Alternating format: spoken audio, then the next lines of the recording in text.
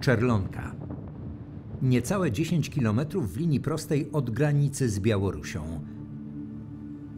To między innymi tu, według relacji mieszkańców, niemal codziennie pojawiają się migranci, którzy bezprawnie przekraczają granicę polsko-białoruską. Alarm w tej sprawie wszczęła sołtys z tej wsi. W czerwcu 2024 roku na Facebooku zamieszczono zdjęcie migrantów, którzy okupowali ławkę na przystanku autobusowym w Czerwonce. Zamieszczenie tego zdjęcia było moją świadomą decyzją.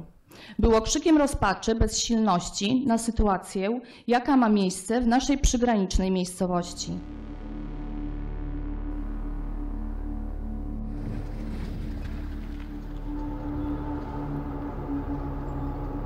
Niestety, pomimo kilkuletniego już napływu migrantów na wschodnią granicę, nasze państwo nadal nie jest w stanie natychmiastowo reagować.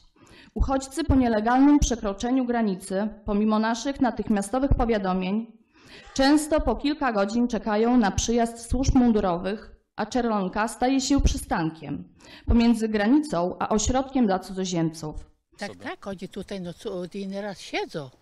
Te, to, te, te normalnie przy, te, przyjezdne. Imigranci okupują nasze domy, miejsca publiczne tak, że nie jesteśmy w stanie spokojnie korzystać z naszych dóbr, miejsc służących do wypoczynku czy też poczekalni. Ludzie ci, często głodni, zmęczeni, wdzierają się do naszych domów, wzbudzając tym nasz strach. któregoś razu to dla chłopca chorego, no bo starszy już 23 lata. Ale plecak chcieli zabrać, Tutaj, tak? To się tak, działo. tu na przystanku, Nie. bo on jeździ do tego, y, do Hajnówki tam na te wykłady jakieś. Aha. To teraz ojciec odprowadza, tak to wiecie panowie. No co, co sobie jeździł od takich do tego, jest skreślony i no co wyszedł za, za tego, za tego i zaplecał mu się dobra. No to ja byłem takich sytuacjach. I ja muszę, muszę z nim zawsze rano przyjechać. Muszę, boję się sam. Nie boimy się migranta tylko dlatego, że ma inne pochodzenie, inny odcień skóry czy wyznanie. My boimy się tylko nieznanego nam człowieka, który nielegalnie wdziera się do naszego kraju, który narusza nasz spokój, mir domowy, zabiera naszą własność. Wojna zwykle mówi, że oni nie są e, e, groźni, a jednak groźni, bo żołnierze przez te z- zabiły jednak noże, co, co, co dostał z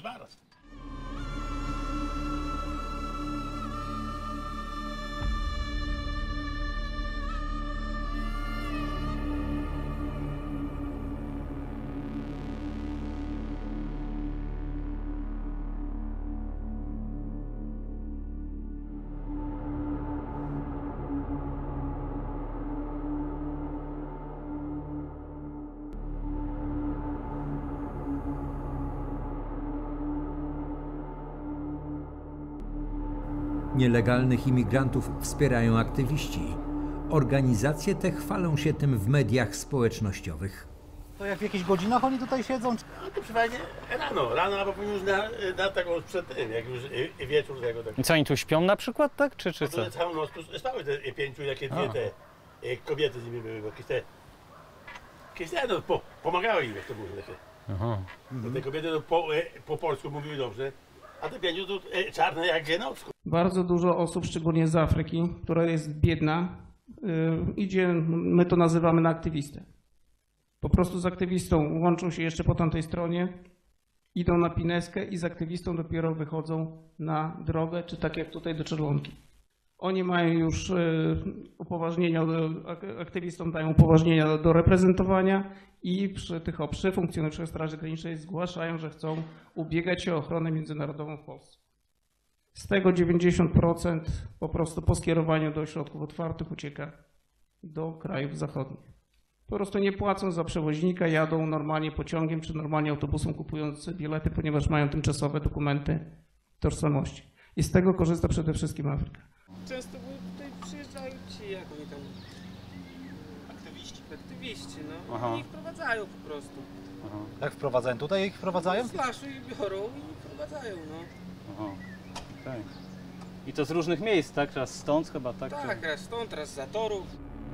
Polski rząd oficjalnie wspiera Straż Graniczną w walce z nielegalną imigracją. Musimy być silni. Musimy tworzyć takie mechanizmy, tak wspierać ludzi, którzy służą bezpieczeństwu, żeby nikt nigdy nie ośmielił się zaatakować Rzeczypospolitej Polskiej. To jest wspólna nasza misja. Każdego z Was, każdego funkcjonariusza Straży Granicznej. Ale codzienność na granicy polsko-białoruskiej wygląda zupełnie inaczej niż przedstawiają to rządzący.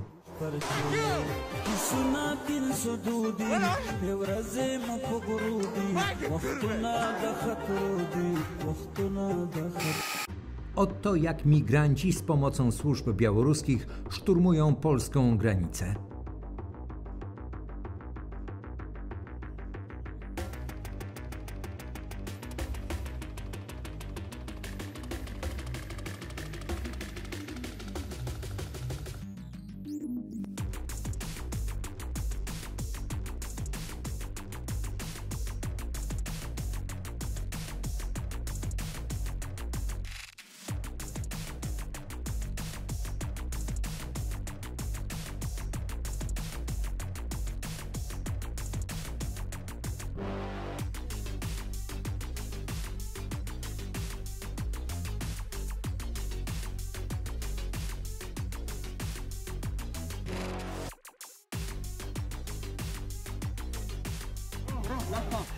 Group Ion Afridi 20 May 20 May 2024 Let's cross the port.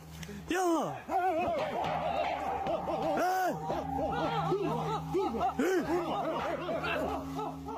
Wie pan, jak wychodzą z lasu do tego pierwszego budynku, wchodzą.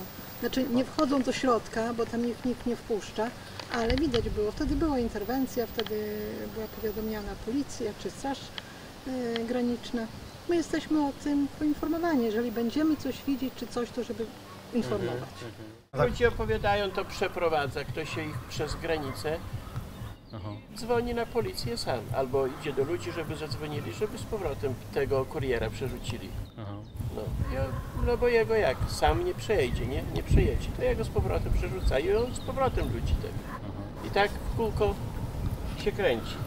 Czerwonka została wybrana dlatego, że raz jest tam łatwy dostęp dla patroli, też do aktywistów, bo tam okolic, okoliczne lasy nie są, nie są objęte takim zakazem.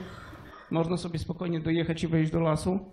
Poza tym y, migranci podzielili sobie granicę na dwie części. Południowa to jest właśnie ta afrykańska i północna to jest y, arabska. Arabowie raczej nie idą do aktywistów. Oni starają się przejść przez granicę, załatwić sobie dojazd i jadą bezpośrednio do kraju docelowego. A właśnie Afrykanie starają się właśnie wejść na aktywistów. I tutaj dlatego tak wyszło. Białoruskie służby szkolą migrantów, jak atakować polskich funkcjonariuszy. Pokazuje to ten materiał ujawniony przez portal Niechta. Rzucajcie w strażników wszystkim, co macie. Na przykład kamienie, butelki, kłody, gałęzie. Rzucajcie i uciekajcie. Będziecie mieć narzędzia, noże. Waszym zadaniem jest trafienie w niechronione miejsca. Szyja, pachy, nogi, ramiona.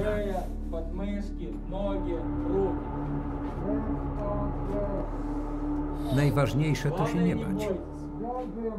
Nie będą do was strzelać, a jeśli to zrobią, to będą strzelać w powietrze.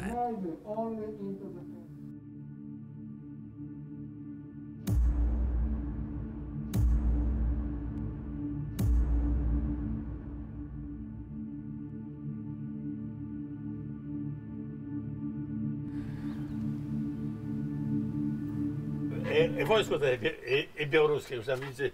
Ich tam szkoli tego agresywność, takie, takie dzidy, nóż zawiązany przez te płoty.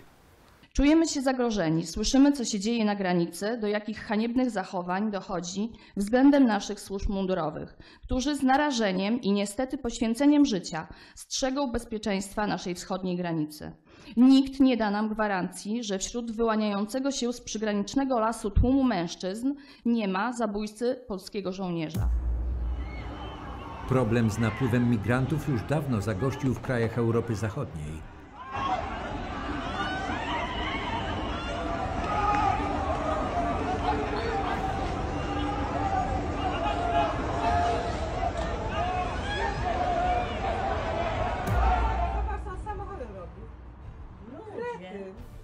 Pierwsze groźne incydenty z udziałem imigrantów pojawiły się również w Polsce.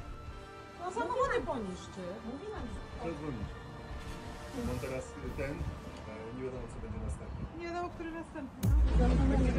Trzymajcie go w pięciu, a nie w dwóch. Ludzie. Zobaczy pan, wie pan to? Z nożem tu tańczył? O, jak się drze. No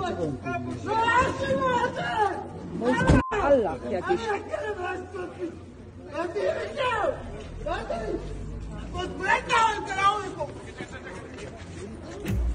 Czasami jedziemy do pracy o 6 i już siedzą. No. Aha. Czasami wracamy z pracy o 15 i też siedzą. Mhm. To trzeba trafić. No. Rutyna, tak. Nie tak, że codziennie też, ale często. No. No, co, prawie w dzień w dzień. Ale to zbiórka jest przy tym przystanku najczęściej, czy, czy gdzie? I w lesie, i w lesie, i tam, i tam. O, to, to ciężko tego. Aha. To, to ostatnio była teraz tych, tu pięciu ich było. No właśnie, tak, A tak. I, I w tym w, te, w telewizji już to było.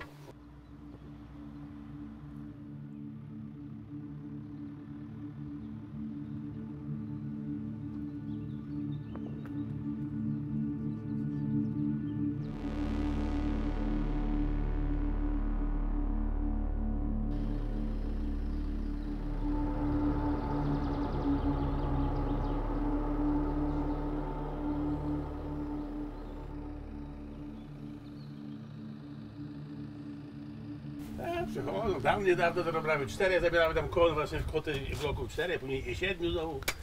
Tam gdzieś tam przyjechała straż graniczna i za, zabrała ich.